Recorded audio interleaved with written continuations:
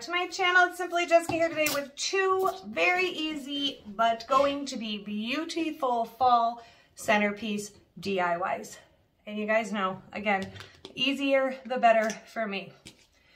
This is what we're going to start with. These plastic bowls, and I already took the one set out, so I'm just going to show you what we did up to this point. It came in a two pack here. There are these just these white bowls, plastic white bowls. And then this set of cups here, they came in a four pack, just these plastic gray cups here. And what we are going to do with it, take one of the cups. It's taped together. You're going to take your hot glue. You're going to cover the bottom of this cup. Tip your bowl over stick it in the center, and you're gonna let that dry. So then when you are done, you're gonna flip it over, and this is the shape that you will have. With this is outside drying, what I took was this two times ultra cover paint and primer ultra matte black spray paint here that I got from Walmart. I can't remember exactly how much it was, I, less than $6. So I think it was like five something spray paint the entire thing. That is outside drying. So we're just gonna skip to DIY number two and we're gonna start that while that is sitting out there drying for us. So that easy peasy takes just a couple of seconds, really. It doesn't even take that long. So moving on to DIY number two. I got this vase at the Dollar Tree. I've had this for actually quite some time. I know they still have them. I see them all the time. Kind of reminded me of a beehive. But we got this vase. And what we're going to do with this vase, we're going to take this floral foam. Just set that to the side. We're going to take this piece of floral foam, open that up. I have, because you guys know that I bought like a ton of these brass rings from the Dollar Tree because I need the middle ones for the centerpieces that I'm making for my daughter's baby shower. So we're going to use the set that we have here. This is the tag that's on it. So brass, re brass wreath rings, you know, you get three in each set. They go from a small one to a medium one to a large one. We're going to take that small one out, put it to the side because we're not going to use it. But we are going to use the larger one and the medium sized one. And what we are going to do is get our knife here and we're going to slice the center here. This is going to be where our wreath rings are going to sit. So kind of just cutting the center here, giving it some room to sit in there. We're gonna, our wreath rings here also like kind of connect. You can see a spot. So that's the spot that's gonna get stuck in here. So we don't even see it. It's gonna go right down in there. Just like my other ones, I'm going to add hot glue to it just to kind of give it a little bit more security. I guess is the best way to put that. And then we because we want them to stand up, which obviously I'm gonna have to move this camera a little bit so you can see better what I'm doing. So taking the, this part is really the only part you need to see. And then we're just going to fill this in with some hot glue. We're really gonna get that guy to stay in there. And then we're gonna take our, excuse me, our medium-sized one, and we're gonna go right in there and join that together. Kind of just holding it still there. You gotta give that hot glue some time to cool so they stay up exactly where you want them. But just right in there. Like I said, giving that hot glue some time to cool so your wreath rings stay put. And I know I'm gonna have to lift this up so you can see better. But just giving that a minute. And it takes a minute. I don't know, you guys notice, and I think I've said this before, the hot glue on the floral foam takes a little bit of time to, to cool. But we just want those to stand up nice and straight in the middle there, like so. So this is what you'll end up having. Let me just pause you here, adjust the camera so you can see a little better. Okay.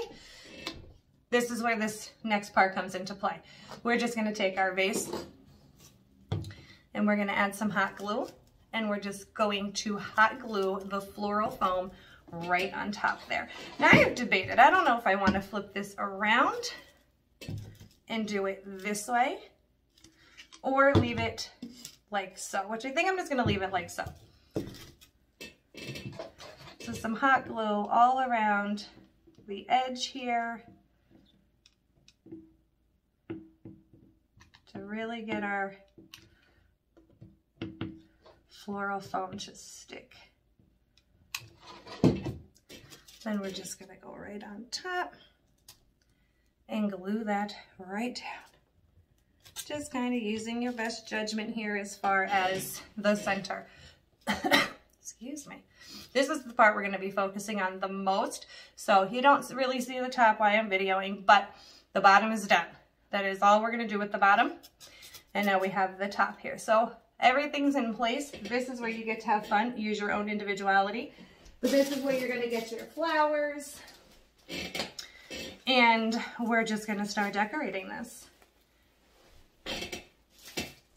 All right. And you're just gonna cut your flowers, whatever ones you want to use. And we're just gonna start decorating. Pushing these in here and making this the most gorgeous, gorgeous ever. But I've got, I don't like, I'm sorry here. I have all of my flowers on the floor. We have some picks here we can add, and we have all kinds of things. So this is the part where you are just going to 100% make this your own. We have some leaves here. So we could fill in some spots with some leaves. And we're just going to have a good time here. Get all your flowers cut, pushed in. You can use your traditional fall colors like I am. You can use different colors. You could use whatever it is you would like. And this is it. We're just going to decorate this floral foam this one like has pumpkins and little berries and stuff on it. And we are just gonna go to town here with our flowers.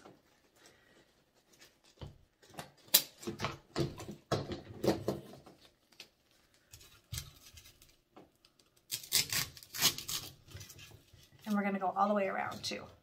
That way the entire floral foam is covered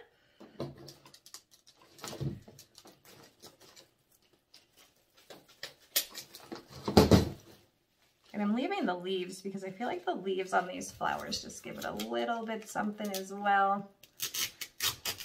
Bringing this one down a little bit. That way we could just get a little bit here, a little bit on the sides. And I told you, like, this is the best part because you just have all the fun in the world here with your own personal style. I'm trying to see what flowers I already used.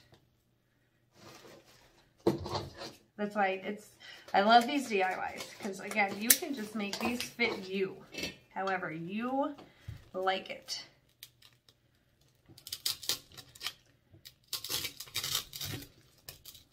Kind of shoving all that in there. And it's just so quick and easy too. That's what you gotta love about these. And it's gonna be stunning. Excuse me.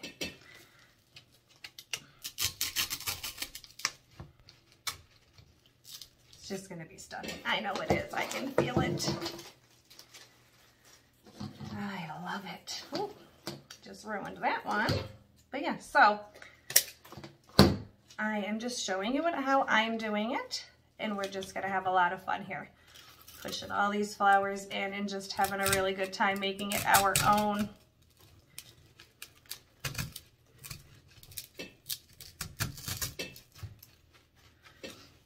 I'm just gonna keep going all the way around. This is also where you can add your own center. I have some pumpkins here. I'm not sure if I want to use these pumpkins, which I may because they're a lot more colorful.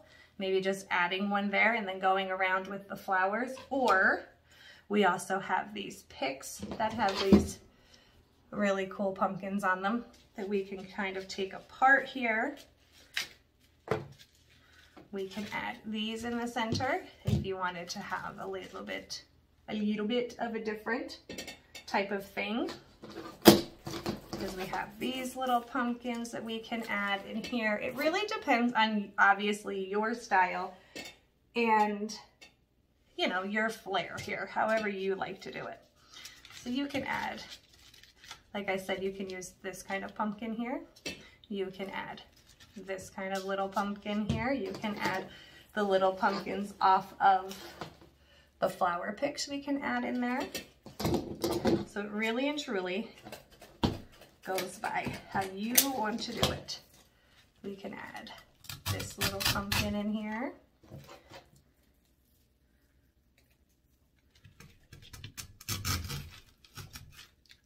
Berries. I like that pumpkin in there. Kind of feel like it needs to be raised a little bit. So we might actually get like another piece of floral foam or something to kind of raise this up or you can get it to sit in the flowers. It's completely up to you. So that's as far as I've gotten. I'm just gonna finish going all the way around this and I'll be right back. Okay, so look how beautiful. I am like already obsessed right? Gorgeous. I'm so happy to find another reason to use these million wreath rings that I have in the house. Seriously. So all I'm going to do lastly is take a flower or so. We're going to add some hot glue. I know you cannot necessarily see the top here, but you will in the end. And I'm just going to glue a little bit, just one or two on the top of the big wreath ring and then like one or two on that center wreath ring there. So we're just gonna add the hot glue to this. and we're gonna bring it up to the top and just kind of hang on to it for a second. You will see this much better, obviously, when I move. Let me bring it down.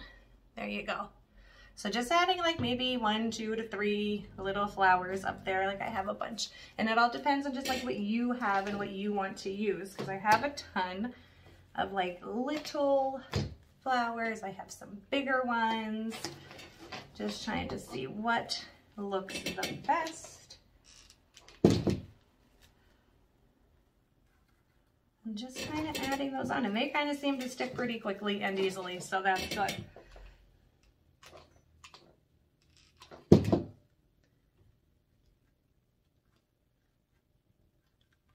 like And then we're gonna add maybe a little something on this bottom one here. Getting the strings out of the way. I don't think we're gonna put big ones. I think maybe we'll put some little ones on this wreath right here. And then just sticking that on there. And look at that, it like seriously just sticks, which is fantastic.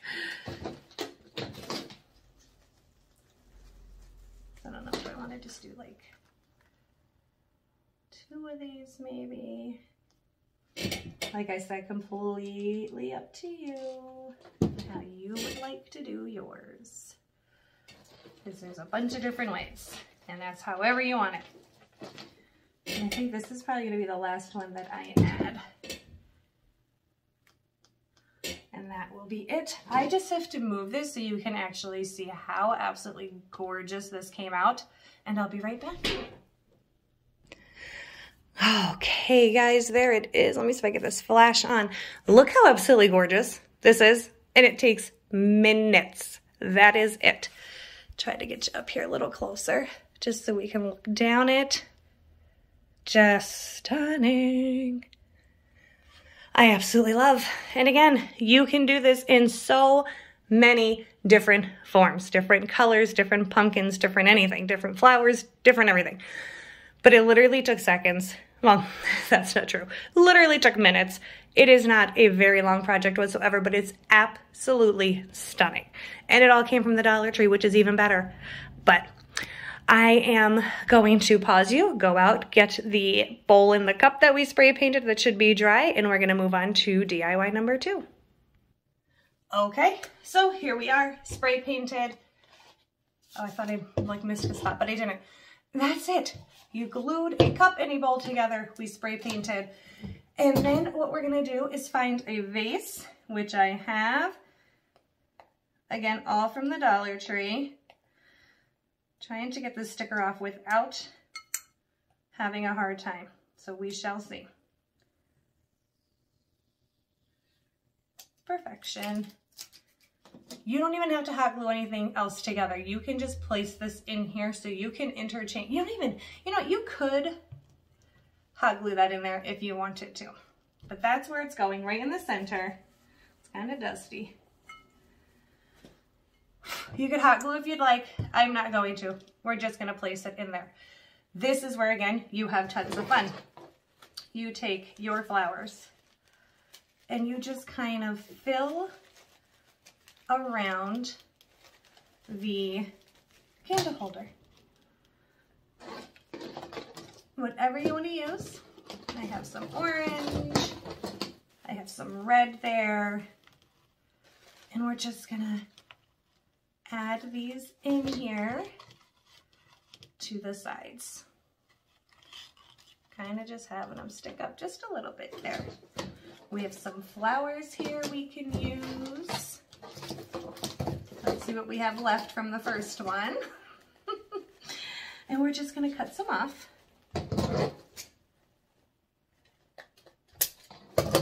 And place them in. These guys might give you a little trouble. You might actually have to cut them off just so they have like a little stick on it as well. And again, how easy peasy. Just gonna cut.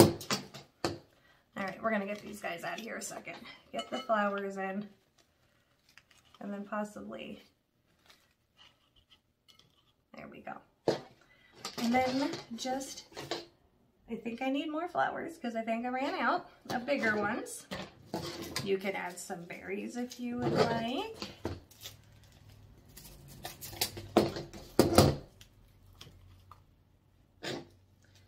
You can add this pine cone. You can add whatever you want. And it's just, gonna be gorgeous. And it's so easy just adding along here. These, unfortunately, you're not gonna be able to pop off. You're gonna kind of need a little stem on them so you can get them to stay up in there as good as the other ones. So just gonna cut a little bit of a stem like so. That way they stick up for us. But I mean, this is gonna be, it's almost done. So cute and so easy.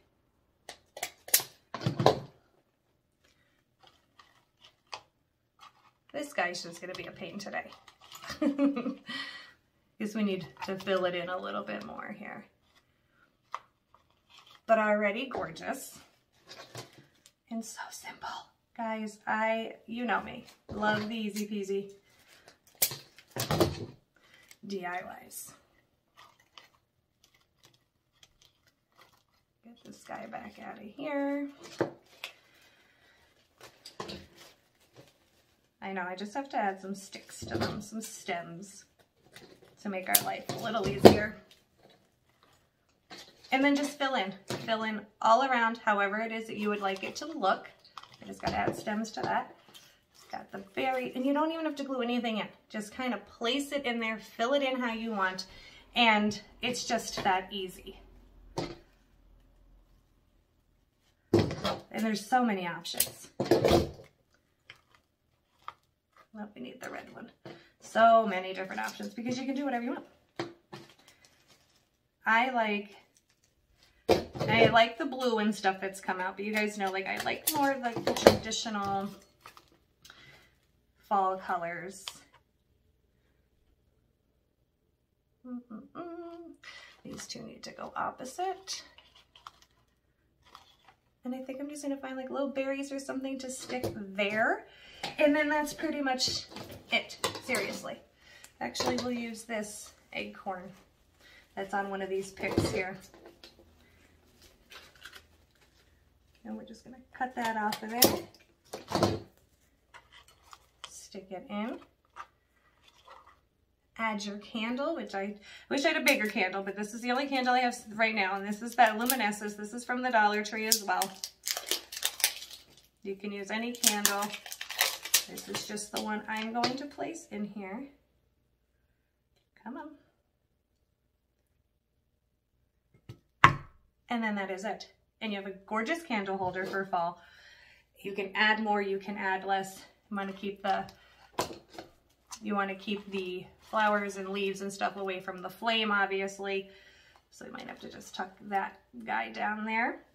And that's it. You can add other things to this if you would like. I do have like little, like this little thing that I got from Dollar General. The pumpkin very well may not fit on here. No, it's not going to be too, it'll be too long. But you could take this apart. You can add a little, you know, a little thankful thing to the front. That's not really fitting. You know what I'm saying. You can add something to it. You can take away from it. You can do whatever it is that you want. And I'm just going to go place this over to the side here so you can get a better look. I'm just going to maybe pull some of these little flowers off and stick them in to fill it a little bit more. And that's it. And that took just a couple of minutes. So I'm going to just play with it. I'm going to stick it over in the corner there so you can get a better look. And then we're all done. Okay guys, so there it is all finished in again minutes. I think it's gorgeous. I absolutely love this. You can obviously interchange the candle if you wanted. We have a flameless candle here. If you wanted to add some glitter in your life you can add that in the center which is stunning as well. Oh my goodness i get so excited because you could just pull all that out and change this to Christmas. You can put Christmas flowers in it, a red candle, you can do whatever. You can take that out, obviously put the other candle in. We can light that. And just look how pretty. I absolutely love. And again, you know, it took minutes and that was it. The hard, the longest part was waiting for that to dry, but it's absolutely stunning. I love it. I hope you guys do too. And until next time, bye now.